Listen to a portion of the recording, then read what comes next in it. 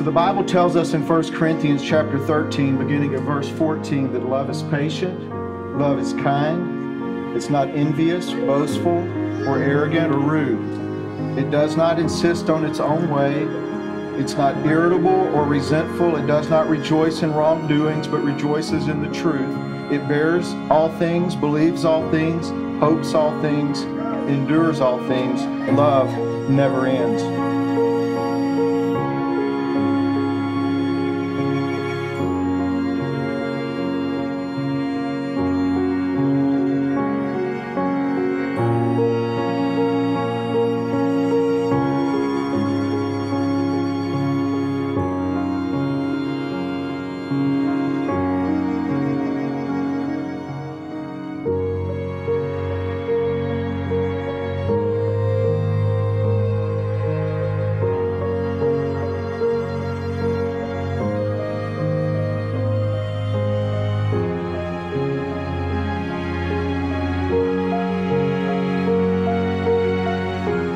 Soulmate is not someone you marry. It is someone who in humility and by the grace and help of the Holy Spirit you create. The truth is, love is not a feeling, it's a decision. It's not something that you experience, it's something you choose to do. It's not an emotion, it's an ability. It's not something that happens to you, it's something that you nurture and you orchestrate and you develop.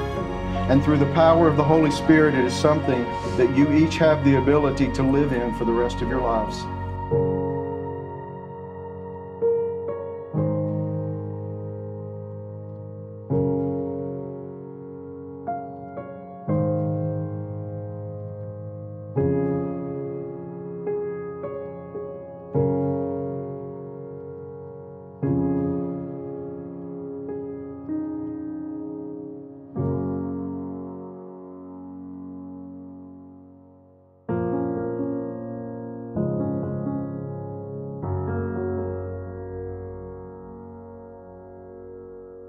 You have become more than I could have ever imagined. I would get to having a wife. You are the sweetest, most compassionate, most loving woman I have ever met. And you challenge me daily to be more like Christ. Linda Marilyn, I love you with all that I have within me. And I promise to never leave your side. I cannot wait to see how God uses us for his kingdom in the coming years.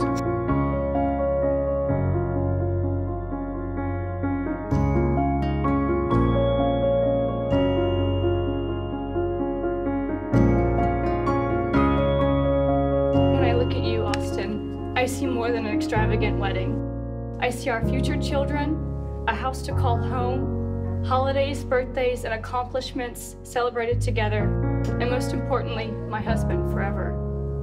I can't wait to see how you lead our family into the presence of God and watch you flourish into the husband God has called you to be. I love you so much, Austin, more than words could ever describe.